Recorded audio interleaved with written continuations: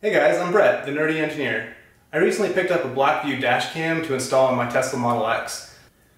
The Blackvue dash cam is by far the most popular dash cam that Tesla owners install, and there's a lot of reasons for that. It is a little pricey, however, there's two cameras, one for the front and one for the rear.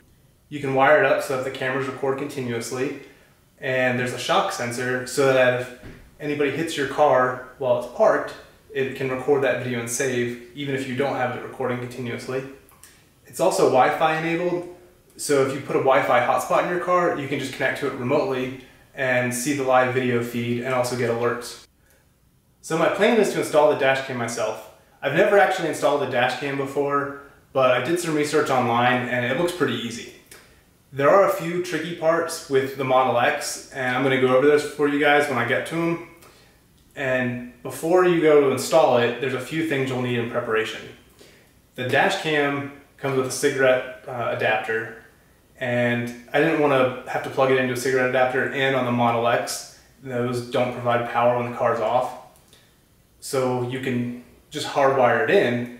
However, I didn't want to have to cut the wires on it in case down the line I end up moving this to a different car or, or something. So instead of cutting the end off the cigarette lighter, I bought this adapter on Amazon. I'm gonna cut the wire on this and I can hardwire that into the car and then just plug the cigarette lighter in here. That's my plan to start with. I'm gonna see how it works. I may end up just scrapping this idea and hardwiring the um, dash cam right into the power. The other stuff you're gonna need, uh, some trim tools. I bought a kit of trim tools on Amazon. Uh, pretty cheap, I think they're like eight bucks. But this will help you run the, the wire to the back cam and to the power. Now the trickiest part with the Model X, if you don't want to see the cable running along that gigantic windshield, you're going to need to hide it. Some people have actually taken the existing conduit that houses the wires for the autopilot and rear view mirror and all that, and they take that off and run the cable through there. I wasn't brave enough to attempt that uh, and I didn't want the wire showing, so there's two other options. You can buy uh, that actual OEM channel from Tesla, but they charge like 90 bucks for it. And as you guys know, I'm pretty cheap. so didn't, wasn't gonna do that. So I searched around and ended up finding these cord cover kits. These things are about the same size as the OEM channel, uh, so you should be able to run the cable through there easily. They're not gonna look unsightly. The only problem is, of course, they're white.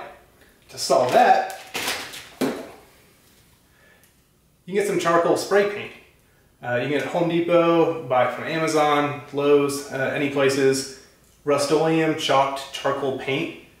It's very close to the color of the OEM channel. So this is one of the channels that's been painted already. And there's a slit down the side so you can easily get the cable that way instead of having to fish it through. So with these channels, the only other thing you have to worry about is there's already tape on it. However, the tape's white, so that's not gonna look good. So you have to scrape the tape off, but you'll wanna do that before you go to spray paint them. When you, after you spray paint it, it's gonna look like this. Very close match the OEM channel. You're only gonna need one of these and this is actually too long. I'm gonna have to cut this, but I still have to take the measurement to figure out how long to cut it. And the last thing you're gonna need is some double-sided tape. I picked up the 3M acrylic black tape, uh, automotive tape. Uh, this way it blends in, you're not really gonna be able to see it from the outside, and it's just gonna help give that OEM look. All right, so here goes nothing. I'm gonna get started. So before you start the installation, it's a good idea to go ahead and clean your windshield. That way all the stuff sticks properly. Now, to ensure that your dash cam is installed right side up, you're going to want, want to make sure uh, all the text is right side up on the bracket where it says Blackvue. Uh, that'll be right side up facing you. And if you look on the front of the camera, the text on the front of the camera will be right side up facing the windshield. You want the lens to line up with the middle of the car. So the adhesive part is going to be on the passenger side. And you want it just below uh, the the autopilot sensor uh, the cameras. That way it's kind of hidden behind the rearview mirror. It doesn't affect your field of vision when you're driving.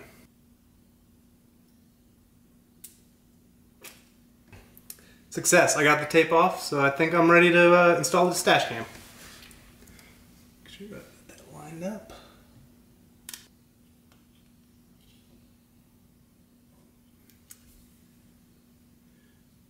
So the channel should be 25 inches. Uh, that way you can go ahead and pre-cut yours. Uh, well, let's see how 25 inches works out. I'm gonna go ahead and cut this and I'll be right back. So this channel, you can cut it with plain old scissors. Pretty easy. You're going to want to make it a little bit shorter than 25 inches, probably 24 and a half. So I ran both the cables through here and I decided I'm going to put the side with a slit towards the OEM channel.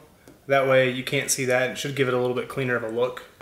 You're going to want to run the cables towards the driver's side because we're going to tap into the power down by the, uh, the driver's side kick plate. That works pretty well. There were a few spots where I didn't get it quite as close together as I would like. You're not going to notice unless you're right underneath it. Now I'm going to go ahead and attach these two cables, so that way I can feed all the excess back up uh, before I start running the cables. You want to make sure you plug the correct ones in. Uh, the power one is silver, the video feed to the back camera is gold, so you don't want to screw those up. Uh, I read online some people have done that and they uh, end up breaking the pin in the cable. To run them in the beginning, it's really easy. There's a gap up here and you basically just drop the cables in there. So I'm only gonna run the power cable right now. The video cable goes to the back of the car. So I'm gonna come around here with the video cable and go to the back. The power cable though, I'm gonna stay up here and go down.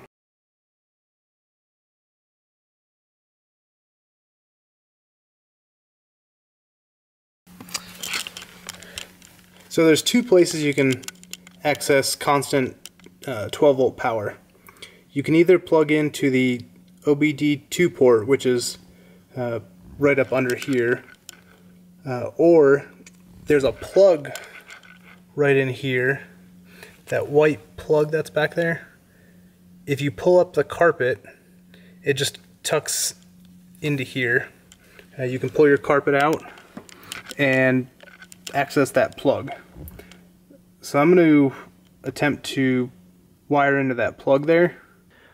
I'm going to splice into the 12 volt cable down by the kick plate with these quick splices. But I've never used these before, so I'm going to give it a shot and hopefully these work out all right. So the tricky part with running the cable to the back, the windshield's easy. There's a channel you tuck it right into. But then to get it through to here, you have to go down along this seam. Going across this pillar, there's a seam right here. Pretty easy to tuck it in.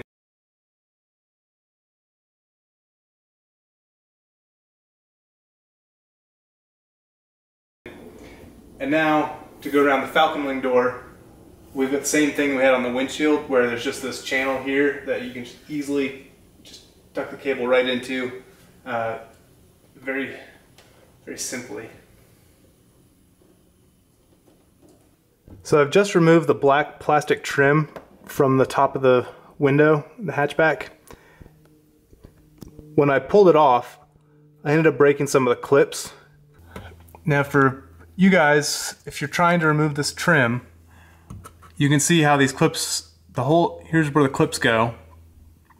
You want to pull this trim straight off this way, right, parallel to the ground if your hatch is completely open. Uh, that should reduce the likelihood that the clips will break.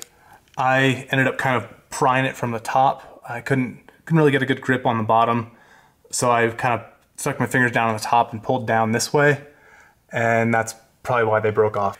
Now to run the cable to get it to here, I'm going to run it through this rubber conduit.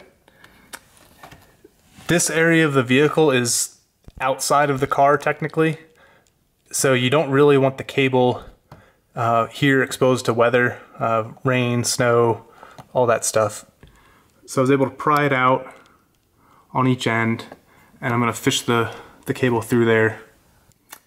So after a lot of deliberation, I decided to fish one string down through here and then I was able to to grab it from in here. I took a, a wire coat hanger, kind of made a hook on it, and was able to grab the string and, and pull it out. So that's what this guy is right here. Uh, so this was from up here, it comes out here. And then to get it up to the falcon wing door, I took a wire coat hanger with a string duct taped to the end and was able to fish it through. And again, I was able to, to loop it and grab it here. You can see where I fished the coat hanger through. There's a bundle of wires inside uh, the liner and that's where I fished it underneath that bundle and through. It's, you know, only about eight inches deep.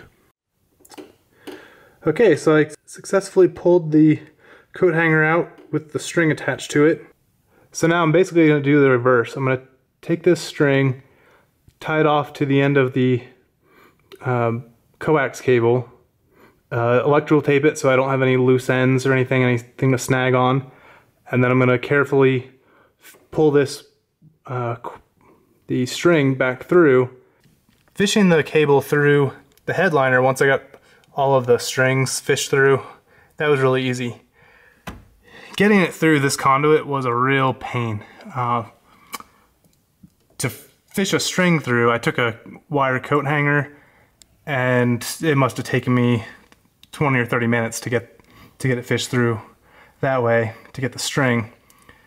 And then to pull the head through took me probably about 10 minutes. Uh, so here's the head duct taped up to the string. That took about 10 minutes and the I think the only reason why I ended up getting it is because I finally decided to try lowering the, the hatch. So I closed it uh, part of the way, which put a little bit more slack on this conduit and allowed me to pull the cable. Uh, I wish I had done that 30 minutes ago. It probably would have made my life a lot easier. After you fish your video cable all the way through, you're going to want to reattach the conduit here um, at each end. This conduit, again, protects the cables because technically this is outside of the car. So that hole should be the dead center. So you want your lens lined up with that. Uh, one suggestion is to go ahead and tape the camera kind of in the spot that you want it uh, before wire, taping down these wires. Uh, that way you'll know how much wire you have and it makes it a little easier to wrap the wire up. I just have to put the, the plastic cover piece back on and then I will do the, the adhesive for the camera to lock it into place. It's just held on with electrical tape right now as a placeholder. I wanted to wait till I got the cover back on before I got that down securely in case it was interfering. Here's the back camera. I reinstalled the trim and attached the, the camera to the back window. Here's the front camera fully installed. Uh, that light on there is the Wi-Fi light. I don't think there's a way to turn that off. Uh, so I'm just going to end up covering that with pieces of electrical tape. But from the driver's point of view, you can't see the camera at all.